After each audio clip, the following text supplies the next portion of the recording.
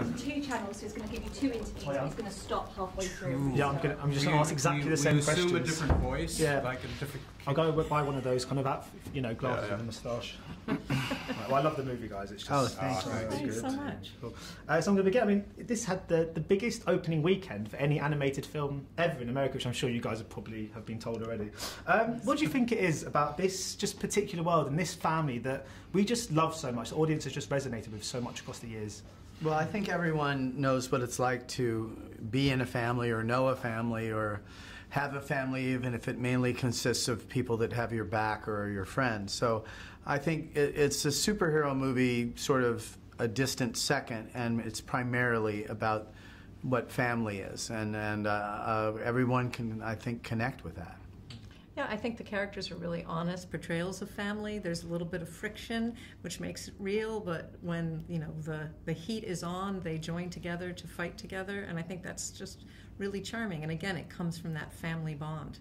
I don't know a lot of movies where the, the family are the central heroic unit. You know, it's like you got the Addams family, but they're I don't know. So I think that that's, there, there's precious few movies that celebrate that idea. And I think if we say family one more time, we get Yeah, some we- sort of award. yeah. Because I mean, I'm 29 years old, so when the first film came out, I was 15. Don't brag. So, I'm sorry. So- We're all older. Yeah, yeah. Uh, so I was, I obviously fell in love with this when I was when I was younger. And I mean, what, what, was it quite a challenge to make this film that will appeal to a new generation of, of kids, and at the same time appease the kind of nostalgia-ridden 29-year-olds? I think the the business part of the movie business always likes to think in terms of patterns and things that can be understood and hopefully repeated for so that the next quarter is healthy. And I, I just think all of that. Uh, leads you astray. If you start considering what worked the first time versus what will work this time, or uh, how audiences have changed, or anything, you get external and, and farther away from what makes movies fun and what makes them magic. I think the best way to, to go into any of this stuff creatively is to imagine yourself in a movie theater and imagine what you would want to see when the curtains open. And uh, that's been helpful for me because that's why I got in, in the movie business is to, you know, be in that feeling. Yeah, I mean, we make pictures that we enjoy ourselves. You know, we're our first best audience at, at Pixar, and uh, this film made us laugh and it made us feel things.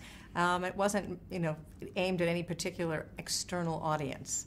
Uh, we think if we like it, then usually it works for the outside world. Yeah, we don't do anything to exclude children, but we do 'em- we do them for ourselves, frankly, Yeah.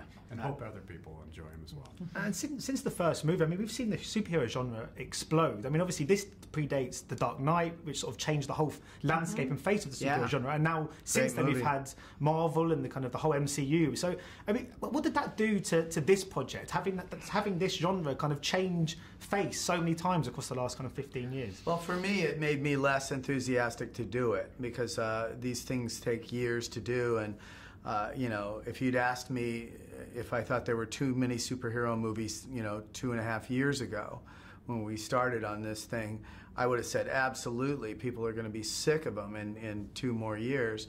And uh, so it depressed me for maybe 30 seconds. And then I remembered that the reason I was interested in this idea in the first place was that it explored family dynamics. And that's a much more interesting and inexhaustible subject than superheroes for me. You said family again. I way. did. I, I think we're surprised, right?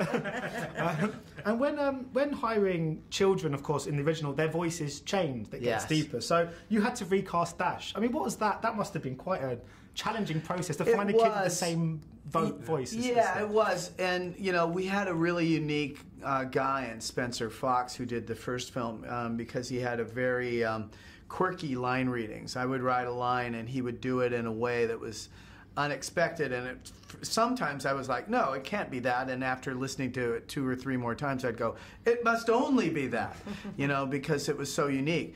Um, but we went back to um, New York where we found Spencer and got lucky a second time in finding Huck Milner, who does the new Dash. And to me, not only does it fit, but Huck has his own unique quirkiness that he brought to the part. And I'm 100% as pleased with him as I was with Spencer. So we got lucky. We did, and it didn't take as long as we thought it would. I mean, we, We thought it came was ac- really going to be. we- yeah, we came across uh, Huck pretty pretty quickly. Yeah. Yeah. but he was also the one of all the ones that Uh, we picked. It wasn't difficult to figure out. And he was he was um, kind of quiet when we first tested him, and his mm-hmm. quirkiness was there, but he wasn't fully showing it. And so we kind of went on instinct and went, I think he's the one. And then in the first recording session, now that he knew that he had the part, his full personality came out, and man, were we right. Although I don't yeah. think he actually figured out he had the part till about halfway through that first session, because he was going like, "Am, I- am I going to do this again?" Yeah. Right, yeah, yeah, you got it, man. You're Yeah, the, you're yeah. the guy. Yeah. Yeah, because he wasn't a pro. I mean, Yeah. he, this was the first part he'd really gone for. And then he didn't know if he was going to record with us more than once. And he was just an utterly charming You've got to make a third one now, so you can do it again before his voice gets Quick, Yeah. quick, quick.